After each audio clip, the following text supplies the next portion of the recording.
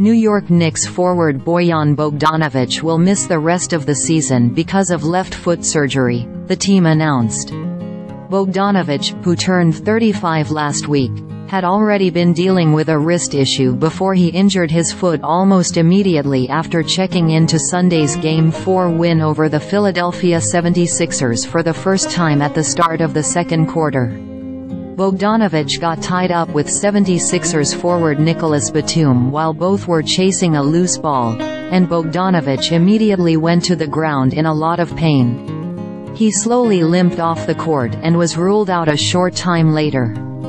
Bogdanovic was acquired from the Detroit Pistons at the trade deadline, alongside Alec Burks, to bolster New York's depth for the stretch run, and he has played a reserve role for the Knicks throughout the first four games of this series. That included a critical pair of three-pointers in the fourth quarter of New York's Game 1 victory at Madison Square Garden. Bogdanovic has a $19 million salary for next season that has $2 million guaranteed. It becomes fully guaranteed if he's still on the roster on June 28.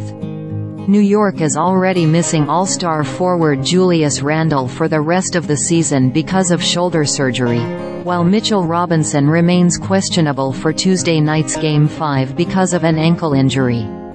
The Knicks would advance to the second round in back-to-back -back seasons for the first time since 2000 with a win Tuesday and would advance with a win at Madison Square Garden for the first time since 1999.